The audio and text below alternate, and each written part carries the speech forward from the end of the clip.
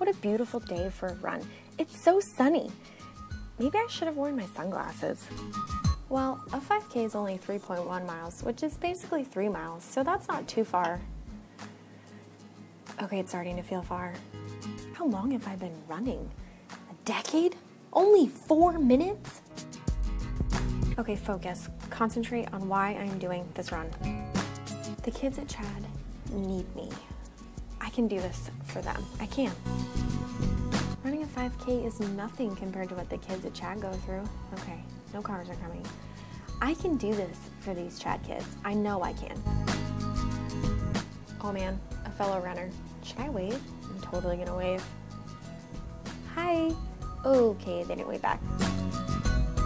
Just keep running, just keep running. I love finding Nemo. Maybe I should watch that later. Focus. What am I gonna eat when I get home?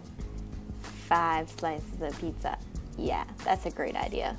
Andrea told me the hero has really good food. I love food. Food is life. Wonder what I look like. Do I look like a hero? Mental note, I need a red shiny cape. Yeah. I don't even like running, but I really like CHaD and the amazing work they do.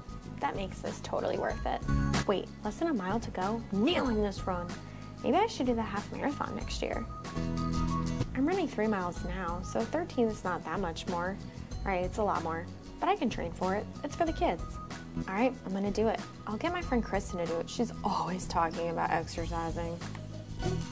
Yeah, we can start a CHaD HERO team. Team off the couch. Oh yeah, boom! Man, that pizza's gonna taste so good, like the sweet taste of accomplishment. Here comes another runner. I can't wave again. It's too embarrassing. Oh, hi, hey. Oh, I like your cape. Yay, she waved first. I guess running's all right. Actually, I kind of like it, especially running for CHaD.